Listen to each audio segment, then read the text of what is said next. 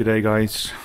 Today I'm doing a different type of ride. I'm doing a, a ride with other bikers. It's against, it's a bikers ride against um, farm murders. And today, all the biker community right across of South Africa got together, and uh, and we are riding up to the Union Building uh, in protest for the farm murders that's happening in South Africa. Now, the the president of this country, um, Cyril Ramaphosa, uh, when he goes overseas, like the last time he went to America, he, he promptly denied it. He said there's no such thing as farm murders happening in South Africa. There's no such thing as land grabs. But we are living in this country, and there's thousands of, of farmers that's been murdered. There's farmers being murdered on a daily basis in South Africa. And the purpose of this right is to show the government that we are getting um, tired of this now, and, uh, and it's also a cry out to the rest of the world so that the world can start putting pressure on, on, on this ANC government. And um, in most cases, when there's a farm murder, it doesn't get investigated properly. Sometimes the police don't even want to go out to the farms to investigate. And um, murders has been um, uh, uh, instigated and um, motivated by uh, by political parties in South Africa, and this is people's lives. I mean, and it's farmers of all colors. You know, it's not just um, white farmers. It's Indian farmers. It's black farmers.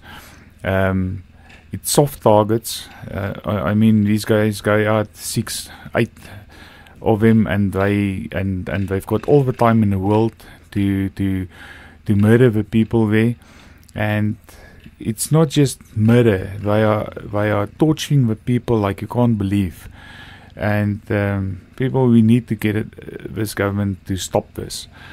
Um, not only don't they stop it, they deny it, and uh, no, we we are just getting really tired of this, and and we need to be heard in in South Africa.